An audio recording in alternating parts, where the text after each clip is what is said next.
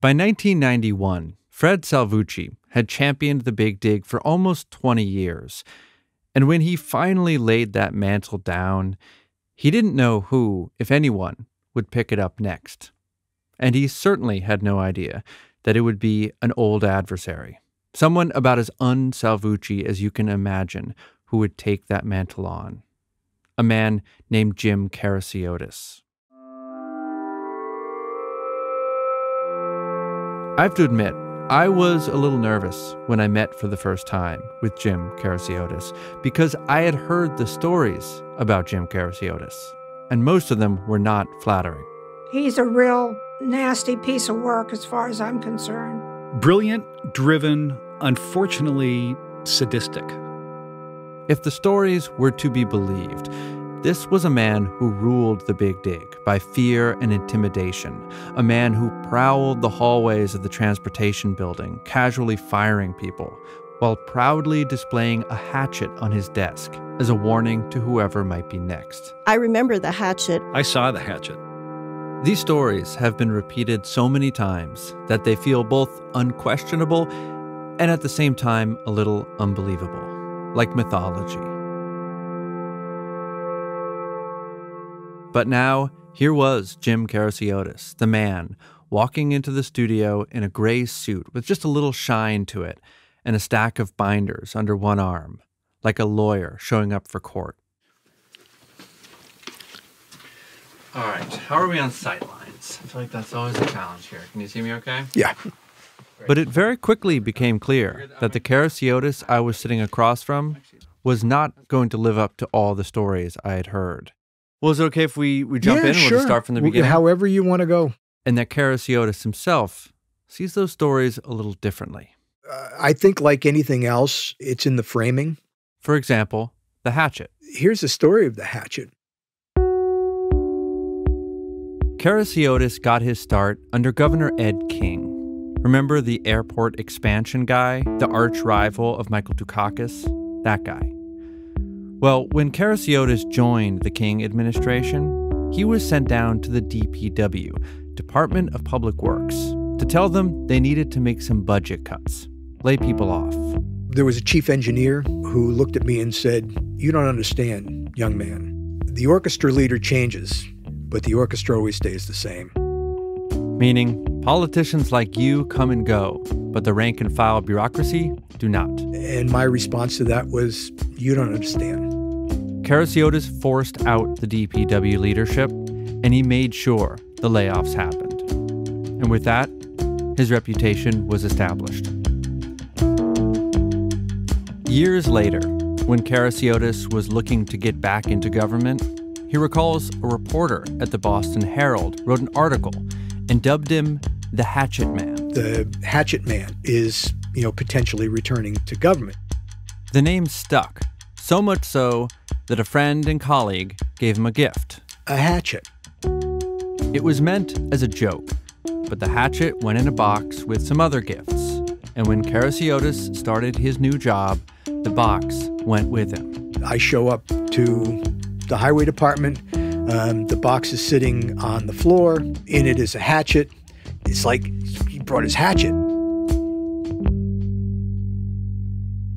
Now, it's entirely possible that the hatchet could have stayed in the box along with the other gifts, except The person who gave it to me a few months after we took office had a heart attack and died. So the way that I chose to honor him was to mount that hatchet on a plaque and to hang it on my wall. And I took a lot of shit for it, but you know, that's fine. Uh, did I relish the reputation? No, but I knew that we had to get moving, and I viewed my responsibility as being a disruptor.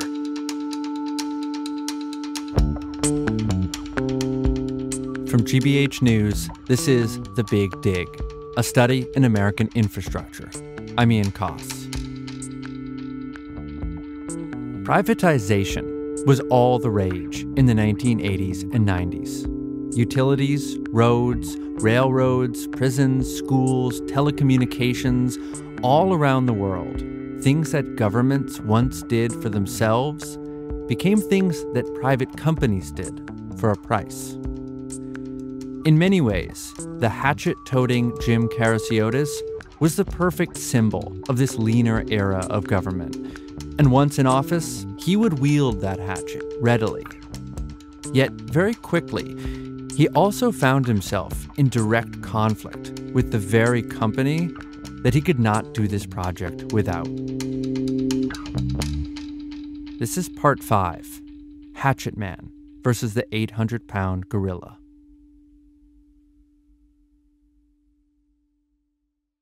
When most of the interstate system was built, it was state engineers who designed those roads, public employees working for the taxpayers. And so, through those big decades of highway building, the 50s and the 60s, the states had robust public works departments with lots of staff. But in Massachusetts, at least, by the 1980s, that mindset and that generation were aging out. When I joined the DPW, the headquarters was over on Nashua Street, which is now the jail that's over there behind Boston Garden. Joe Allegro started working for the Department of Public Works in 1984. It was a very old, dated, tired building. And it was definitely most of the folks were in their 60s and, you know, counting time. There wasn't a computer in the building, there was a typing pool. Mike Lewis was hired that same year. He recalls sitting down at a seven foot drafting table with his elder colleagues and feeling like he had gone back in time. All men, white shirts, thin ties. So it really was, it looked like Mad Men or like Yeah, yeah. post World War II. Yep. But this is the 1980s. This was the 1980s. It was clear that this DPW would not be designing and managing the most complicated public works project in American history. And so early on, Fred Salvucci made the choice to hire one of the world's great construction firms, Bechtel Corporation, in partnership with one of the world's great design firms, Parsons Brinckerhoff, to manage the whole project. Together, these two companies offered an awesome array of technical expertise. All the Public Works Department had to do was keep them on track. Not that I study Buddhist philosophy, but it's sort of a Zen thing. Salvucci realized from the beginning that the state was entering into a paradox. You can't do the project without Bechtel Parsons. They're the ones that have done this stuff. So you are where you are, but you know that they know way more than you. So how are you going to manage them? And we were a very small bunch who worked for the Public Works Department. You may remember Martha Bailey from the last episode.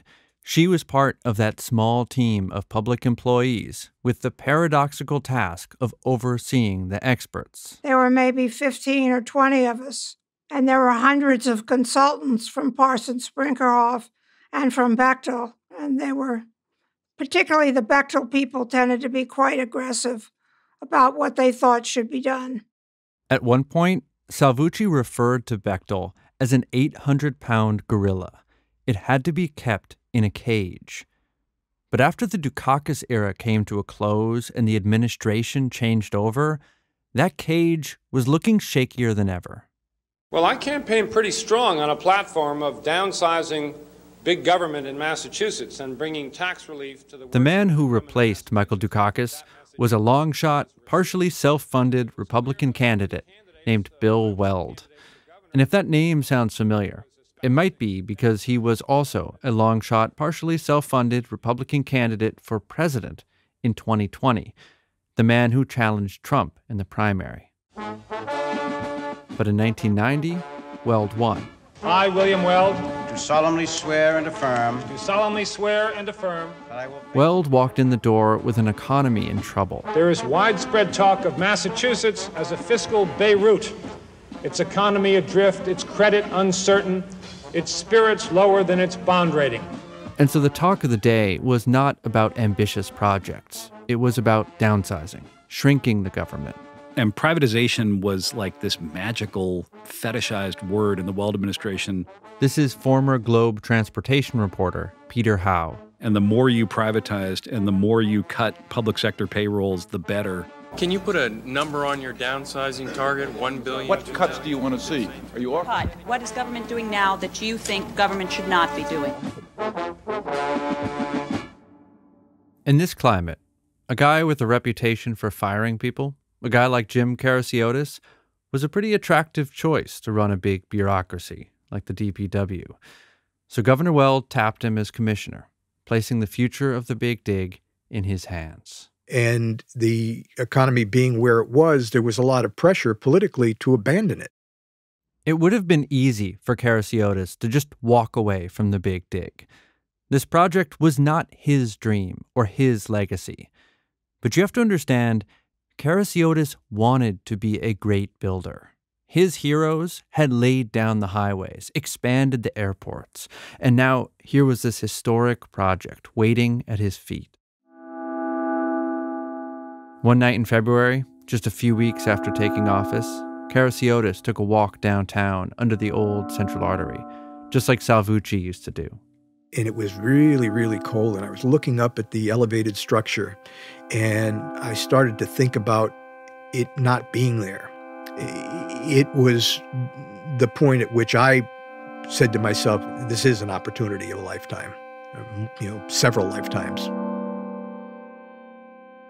With a healthy dose of trepidation, Weld and Kerasiotes decided to take on the dream of Dukakis and Salvucci. But they were going to do it their own way.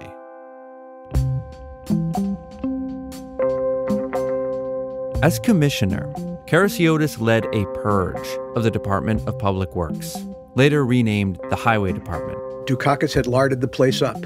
His highway department would be run like a business, lean and mean. Basically, we went after management first, and we cut out the fat. Kerasiotes took a special interest in these so called Dukakoids, holdovers from the last administration, who might undercut his vision, or even worse, leak to the press. So I, I dug these people out of the bureaucracy one by one. Um, and not fun because you don't like to do it, but you make the execution very public so that the next person in line gets the message that I could be next on that list. To be clear, all these people being fired did not necessarily work on the big dig itself. But the purge was all part of a larger ethos of management. Less is more.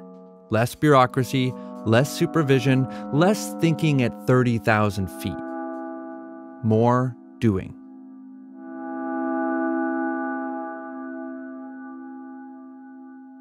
You remember your first day walking in the door at the highway department and sort of what it looked like, what it felt like in there? Well, it was very weighty.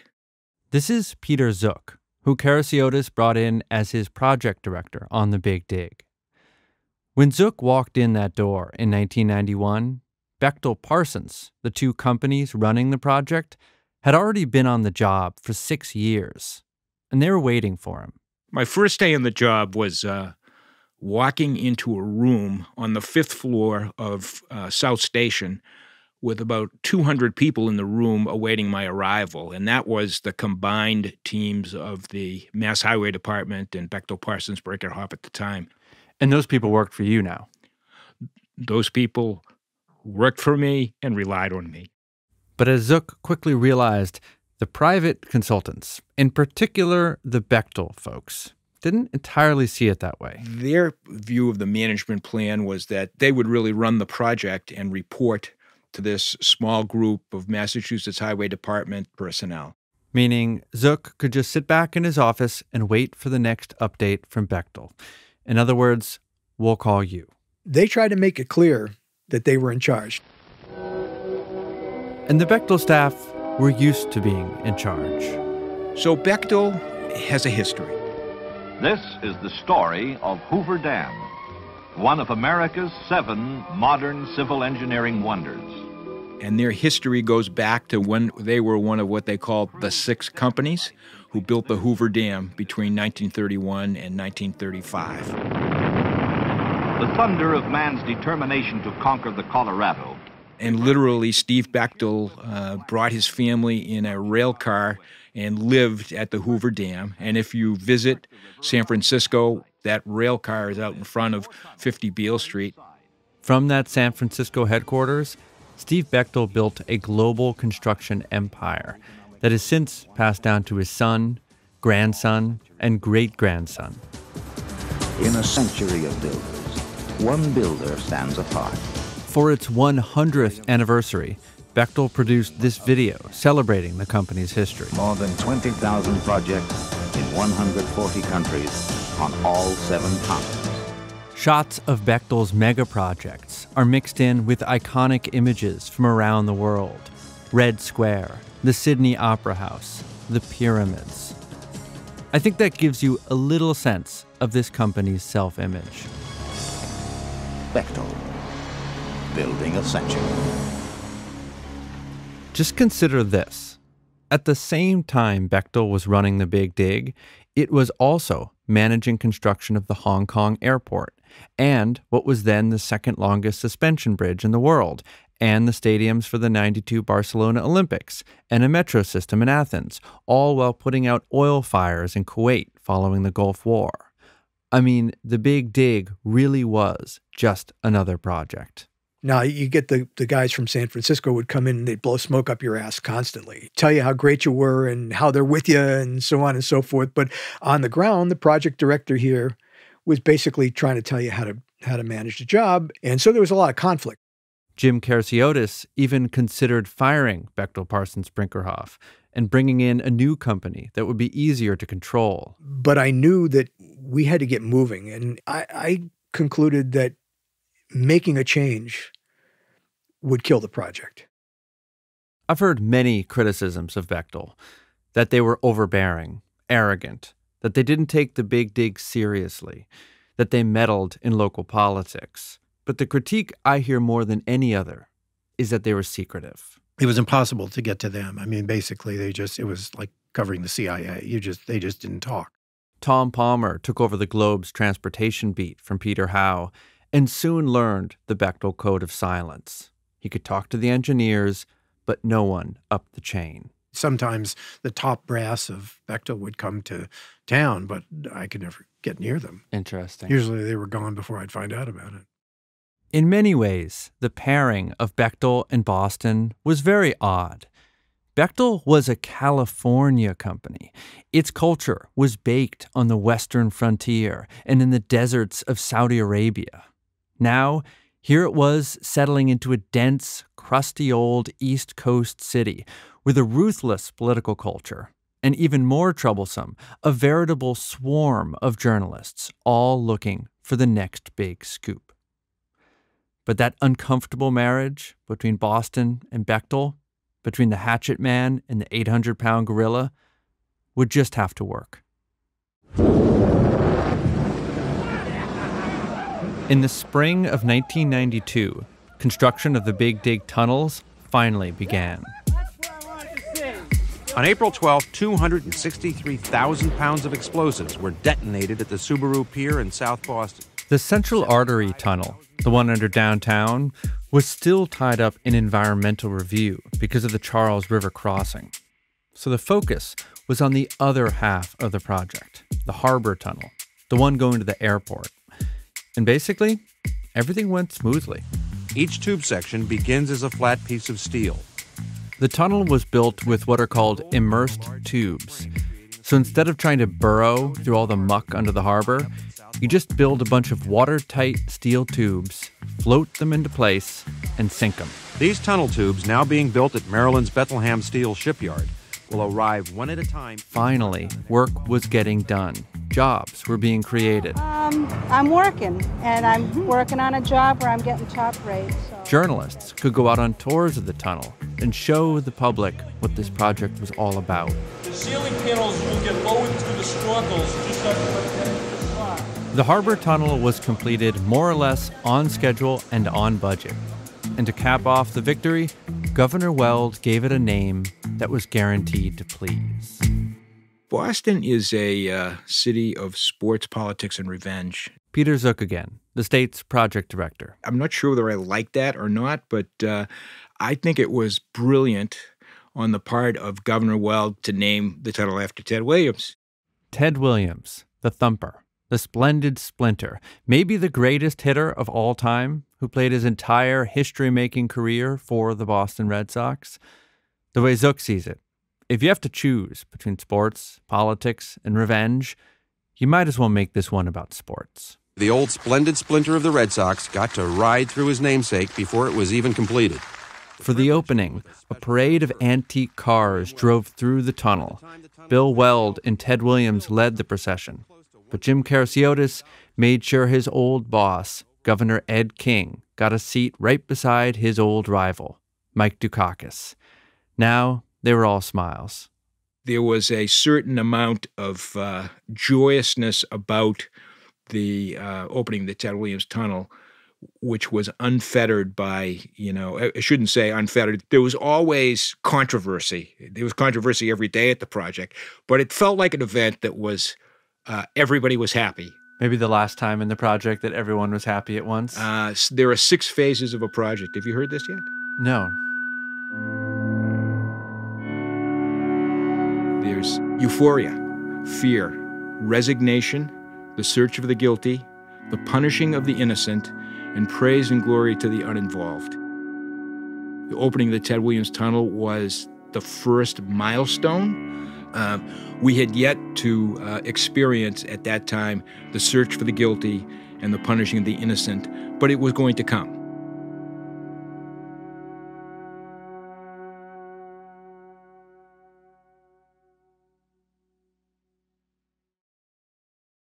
The problem with the Ted Williams Tunnel was that when it was completed, it didn't actually connect to any highways. It didn't connect to the Mass Turnpike, I 90, and it didn't connect to the Central Artery, I 93. It was just a lonely tunnel under the harbor that most drivers couldn't get to, perfect for parading antique cars, not so much for catching a flight. And it was actually that connector piece, that link, that would prove to be the most complicated piece of the whole big dig the Fort Point Channel. The major element keeping the rest of us out of the tunnel is the Fort Point Channel dilemma.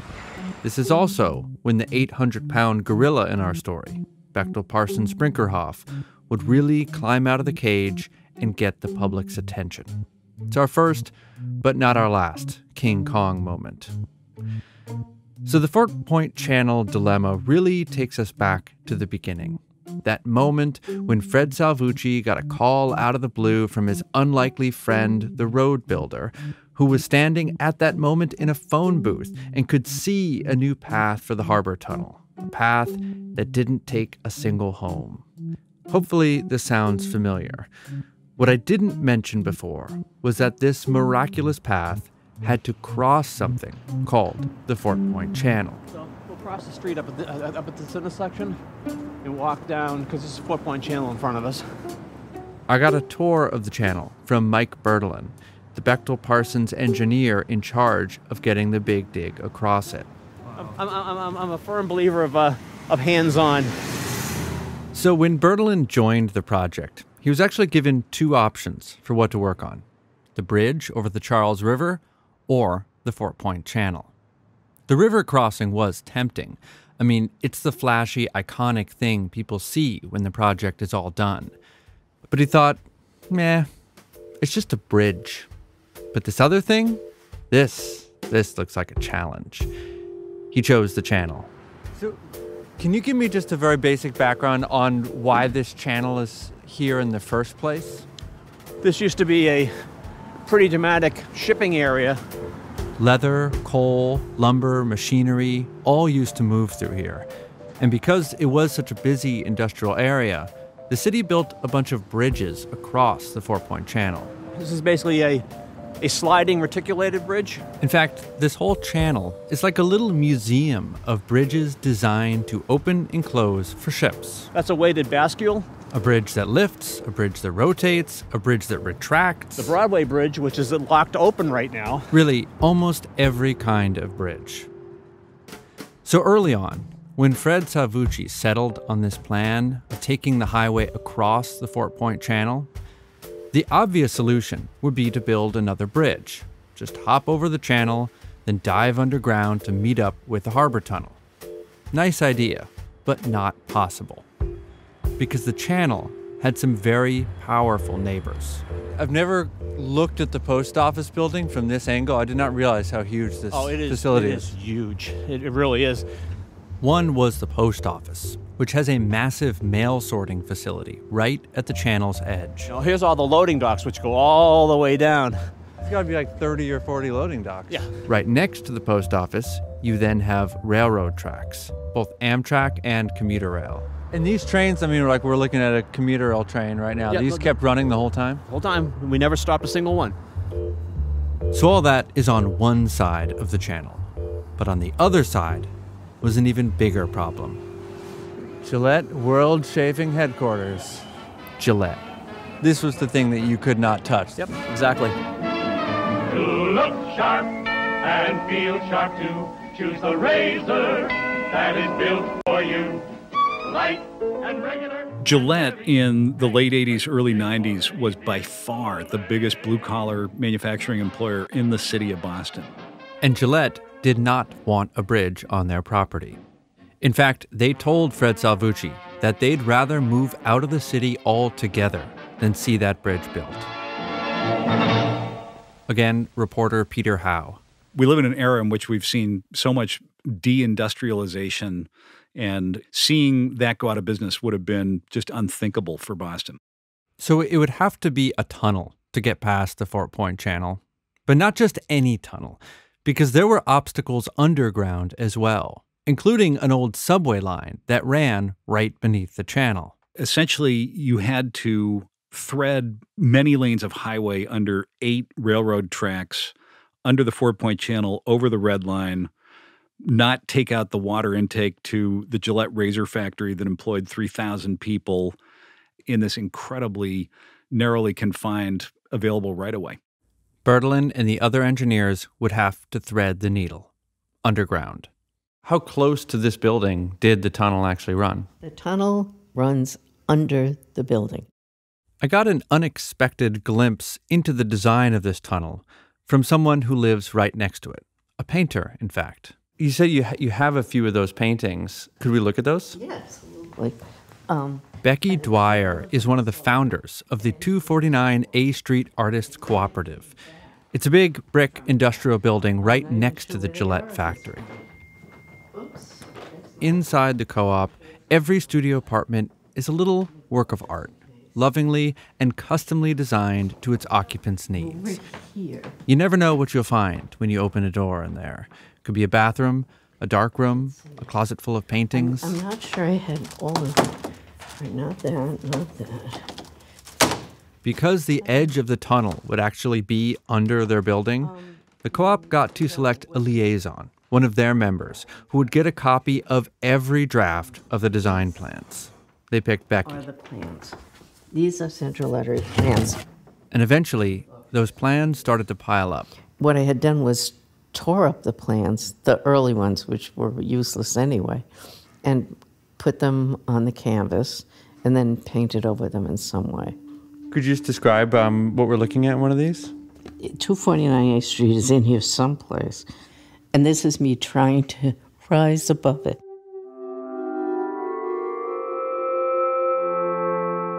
You can see the outline of the channel and the tunnel, with lots of hard to read numbers around them. But then there are big splotches of color creeping in across the map from all sides. As Dwyer describes it, the paintings capture the long emotional arc of the Fort Point Channel, from curiosity to fascination to exhaustion to exasperation. And this is hell. Years of meetings, years of construction. That's how bad it was. In one of the paintings, the construction site is haunted by a shadowy figure with glowing red eyes. Yes, it's a two headed, three headed dog guarding the gates of hell.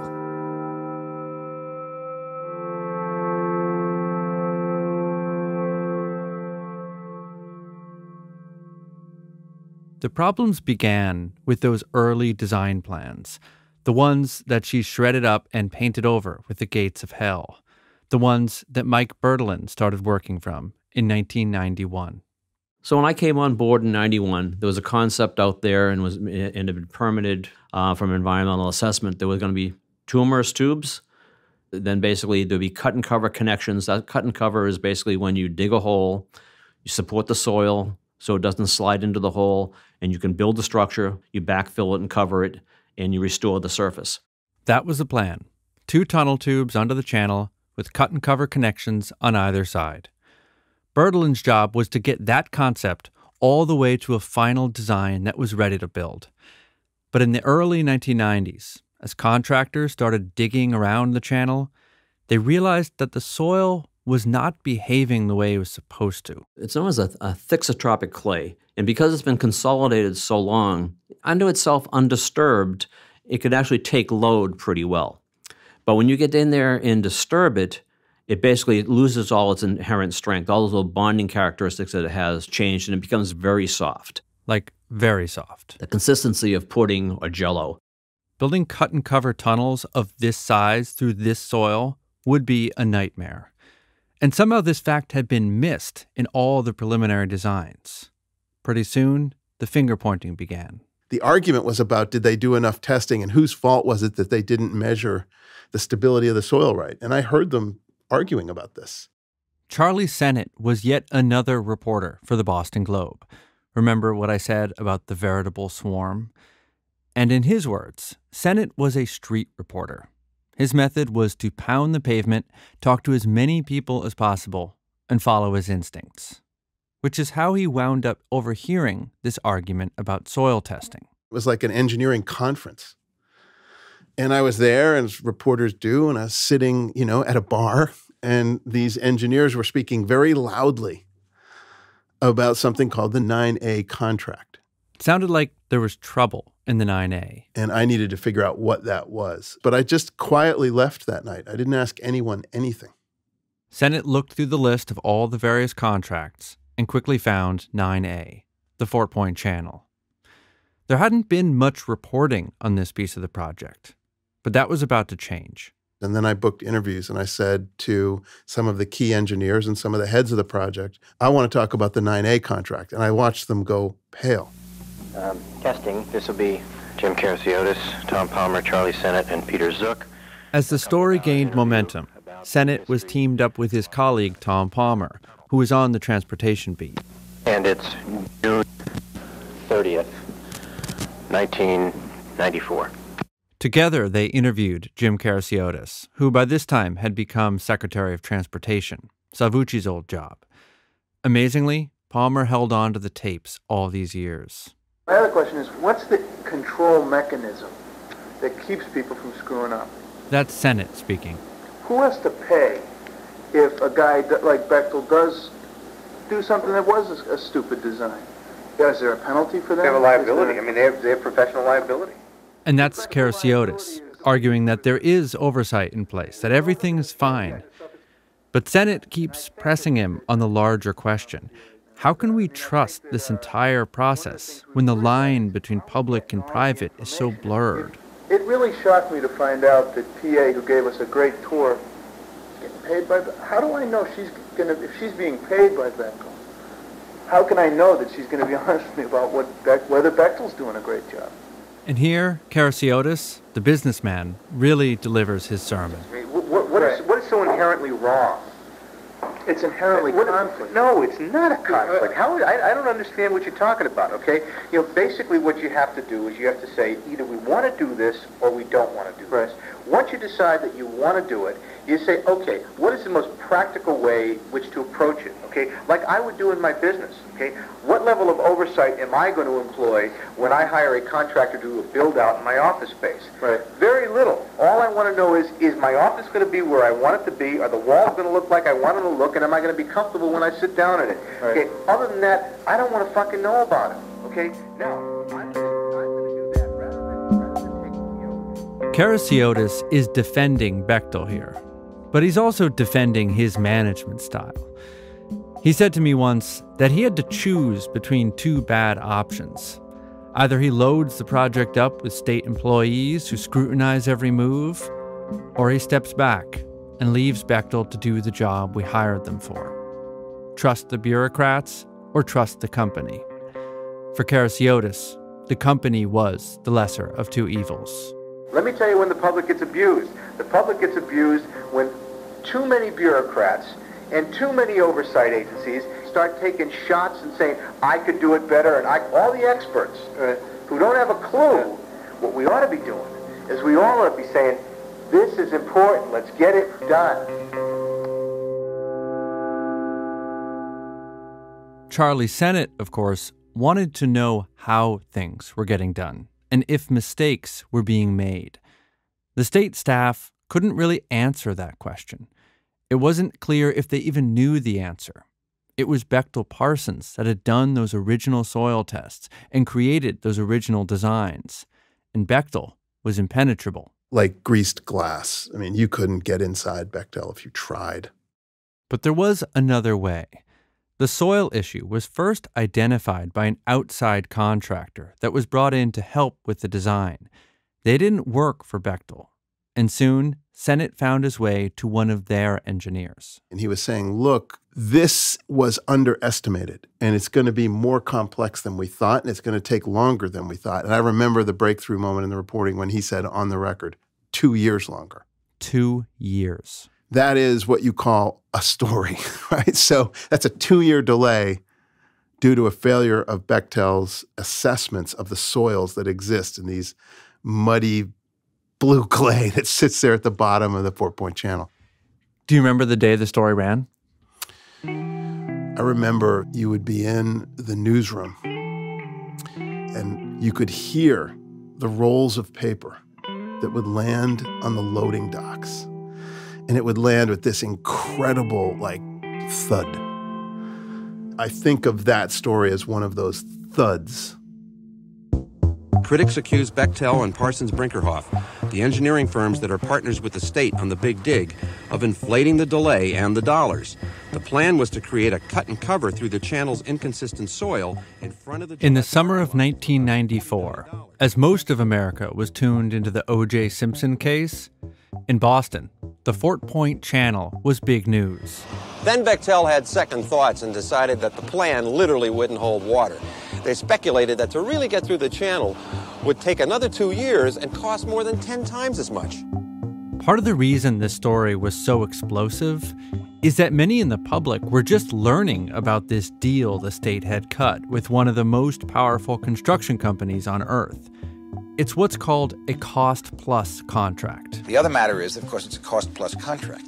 Meaning that Bechtel Parsons was not getting paid a flat fee. They were basically being paid by the hour. The longer the project took, the more money they made. Experience, Bechtel also assumed the role of management consultant, technically making them the overseer of their own work. But maybe more important was the fact that it was Bechtel Parsons engineers that both created those preliminary designs and then signed off on those designs. This has made a few critics wince when assessing the contractual arrangement here. Finally, you had the famous Bechtel secrecy at play.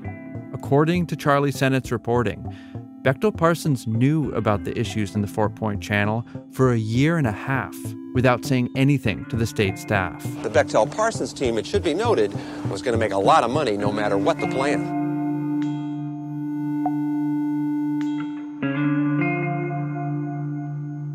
Did someone drop the ball in there? Should the soil conditions have been tested more thoroughly or deeply, or like how did that error happen? Uh, you, you you bring up the word error. I, I don't perceive it as an er, as an error at all. It's basically not everything from an early assumption always pans out in the end of being the way the early assumption was. Mike Bertolin, the Bechtel Parsons engineer who welcomed the challenge of the channel, sees the story very differently. This is just how the design process works. Then you basically, as a good engineer, sit back and say, okay, you know, that's not the way to go. In fact, by the time the public was just learning about the Fort Point Channel dilemma, Bertolin and his team had already pivoted. These soil problems were old news to them. So we said, we, we need to change the concept. Let's, instead of fighting the conditions as there, let's challenge it and build it differently. But even as Bechtel Parsons went back to the drawing board, the venture's relationship with the state was fraying further. And it all came to a head one September morning in 1994. The Central Artery Project has uh, come under increased uh, scrutiny and debate and uh, public attention uh, over the summer. It was just a month after all this news about the channel came out, and Jim Kerasiotes was invited to give a speech to a breakfast event of local business leaders. State Secretary of Transportation James Kerasiotes. Kerasiotes had a simple mission to reassure his audience. The message this morning is the project is going well. And though he did acknowledge the recent reporting on the Fort Point channel, There was a report in one of the papers about a problem associated he quickly downplayed the problem. He didn't blame Bechtel or anyone for that matter. He, like Bertolin, was focused on finding a solution and making sure that solution would not affect the schedule and not affect the cost. The bottom line of this discussion is this. As far as the cost of this project is concerned, we understand that we can't incur additional costs. We're not But as he spoke those words, whether intentionally or not, he was also issuing an ultimatum to Bechtel Parsons. No more surprises. And they heard him loud and clear. This project is a great success, and I want to thank you very much. Moments, just moments after that speech, Tom Palmer, the Globe reporter, went up to a staff person from Bechtel who was in the room, their top person in Boston. Palmer asked, So, do you agree with Kerasiotes? Can you promise no more cost increases? The Bechtel rep, in characteristic fashion, did not make a big statement, but he did say, quote, These, by definition, are very, very unpredictable numbers, and you just don't know. He stepped in a pile of shit he shouldn't have stepped in. When Kerasiotes heard the quote, he was furious. You know, stop the bullshit and stop telling me what you think I want to hear. And then going to tell Tom Palmer at the Boston Globe, oh, you know, I can't, we can't commit to that. You know, you're going to commit to that or you're going to go. I feel like the deal Kerasiotes offered the public was that he would be our bully. If bureaucrats didn't get stuff done, he would fire them. If politicians or journalists took shots at the project, he would shoot back. So even though Kerasiotes had often defended Bechtel publicly, when they pushed him too far, he went into bully mode. He couldn't exactly fire a Bechtel employee, but Kerasiotes took the most drastic step he could. He dismissed the man from the project, sent him packing. Which created a shitstorm in San Francisco. With the whole partnership between Bechtel and the state suddenly in turmoil, Gary Bechtel himself, great grandson of the company's founder, flew to Boston to meet with the governor, Bill Weld. And um, basically tell the governor to replace me. The two men met alone for three hours. They talked politics. They talked about the project. And according to Kerasiotes, Weld told Bechtel that he was sticking with his man. Basically told him, hey, listen, you know, thanks for coming by. You work for Jim. Bechtel backed down and quietly replaced the man who had dared to contradict Kerasiotes. Once again, the relationship between the state and the company held.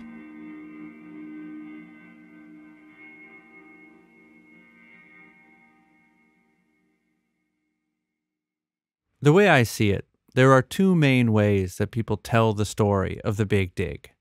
There's the scandal and drama version, which generally occupied the front page of the papers. Then there's the engineering marvel version, the look what we did version, which was always part of the media coverage, but usually tucked a little deeper in the paper. I want to make a little space for that perspective here, because really, it is a marvel what they did. So, in the end, the team led by Mike Bertolin made three big changes in their approach to the Fort Point Channel, each of which was historic in its scale for American engineering. So we ended up doing something called deep soil mixing. First, some of the project staff went to Japan to study techniques for using giant mixing bits to strengthen the soil. They would auger down 120 foot plus, and as they went down slowly, they would also inject cement grout. And basically, the material, which had the consistency of three day old jello, would basically be turned into something more like a, a very hard sandstone. Hard enough to actually dig through without the soil constantly caving in. That technology worked really well until we got close to the railroad tracks. We hit all kinds of obstructions, and we ended up solving that problem with soil freezing. This was the second big change. They froze the ground solid. This is truly wild. It took a refrigeration unit big enough to cool the Empire State Building in July, running for several months straight to make this happen. It worked by sending a liquid brine chilled to minus 30 degrees through pipes running 60 feet under the ground. Once that muddy clay around the pipes had all turned to ice, they could then dig out a highway sized tunnel just five feet below the railroad tracks. Five feet. And like Bertalan said before, the trains never stopped running. But the final change, and really the crowning achievement for Bertalan, was in the banks of the channel itself. And the idea was let's not fight the water, let's use water to move things around. Basically, they would build this tunnel just like the harbor tunnel, float the sections into place, and then push them into that soft soil surrounding the channel. The difference was that these tunnel sections could not be built down in Maryland somewhere because they were too big to float through the channel past all those antique bridges. They would have to be built on site, next to the channel itself, in what's called a casting basin. Basically, a big dry dock, like what they used to build ships. How big was that casting basin? It would hold an aircraft carrier. It's roughly a thousand foot long and uh, roughly 300 foot wide. Gillette gave the project temporary use of its parking lot, which is where they dug out the casting basin. But there were rules. They would remind us that their tolerances of their razor blades are in angstroms. That's one hundred millionth of a centimeter. Much, much thinner than a, um, a human hair. That meant no vibrations, no dust. They had to dig a pit big enough to hold an aircraft carrier without shaking the factory right next door. And that is what we ended up building. I watched the whole thing. What did it look like? It looked impressive. From her painting studio, Becky Dwyer could look right down into the casting basin itself. For years, the basin was a hive of activity trucks, workers, equipment, debris. I did do a series that was interesting. I'll show you one, and then I'll let you go. Then, when the tunnel sections were built, they flooded the basin. All the steel and concrete were hidden, and the water came practically up to her front door. This is it. Um, I got up in the middle of the night. There's two of these, but I'll show you this one. And the the flood was up next to the building, and the moon was shining. It was like a full moon. And if you looked at the ceiling, you could see the water and the moon. It was unbelievable. So I had to make a painting of that. There were no three headed dogs or gates of hell in that painting, just ripples of water and light.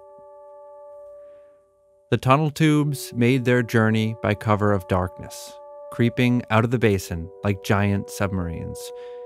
It took nine hours for them to cross into the channel, pulled by diesel powered winches. The water was glassy and calm, and just as the sun rose, the tubes touched down in their final resting place, within three eighths of an inch of what the designs called for.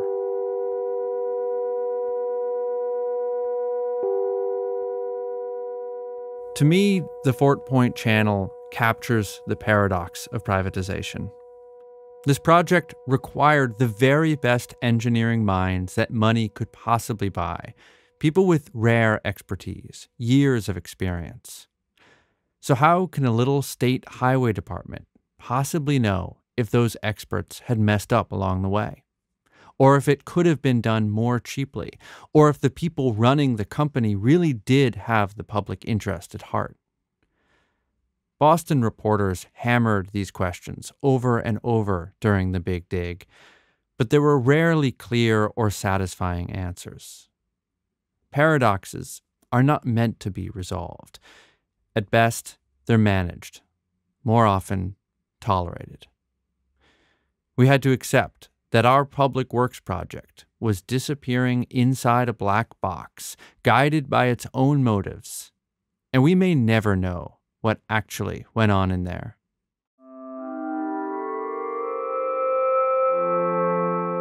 Today, it takes all of about 10 seconds to cross the Fort Point Channel. You barely notice the dip and rise as you thread the needle along the most expensive piece of highway in America. So we're standing right on top of the tunnel right now. And as you can see right here, Above ground, there isn't much to see either. There's a small access stairway right next to the artist co op that seems to just emerge out of the sidewalk. if we, if we stop and stare, we might be able to see the tops of the tubes right here. And at low tide, if you look down in the channel and the water is calm, you might just glimpse the tops of the tunnel tubes. If it was sunnier, we could. The channel's failures and its triumphs are mostly hidden.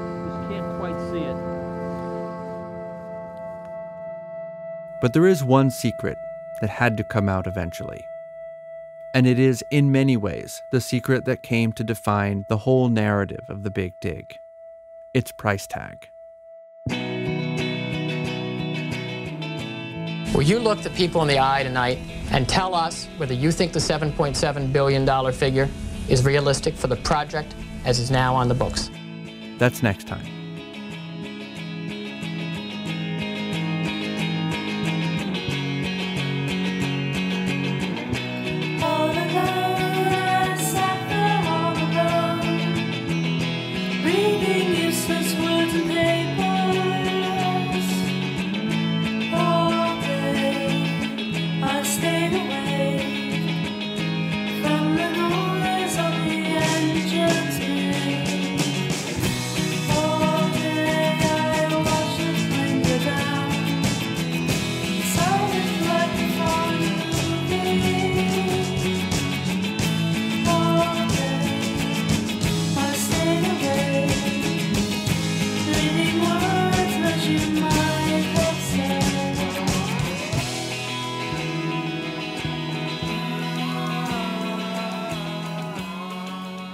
The show is produced by Isabel Hibbard and myself, Ian Coss. It's edited by Lacey Roberts. The editorial supervisor is Stephanie Lyden, with support this episode from Sam Derringer. May Lay is the project manager, and the executive producer is Devin Maverick Robbins. Special thanks to Tom Palmer, who probably put in more hours and years covering the Big Dig than any other single reporter in this town. Tom has been generous enough to share not only his insights, but also original audio and video from his reporting. The other archival sound in this episode comes from GBH News, and you can see some of that material, including shots of Boston's old elevated highway and the Fort Point Channel at gbhnews.org. The artwork is by Matt Welch. Our closing song is ETA by Damon and Naomi. The Big Dig is a production of GBH News and distributed by PRX.